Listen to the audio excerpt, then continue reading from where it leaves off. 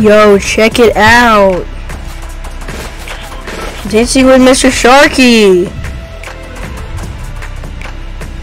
Oh yeah.